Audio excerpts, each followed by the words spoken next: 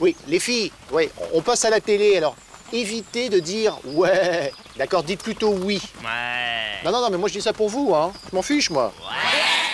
Ouais. Ouais, c'est pas gagné. Les fromages de chèvre? Tout le monde dit ouais.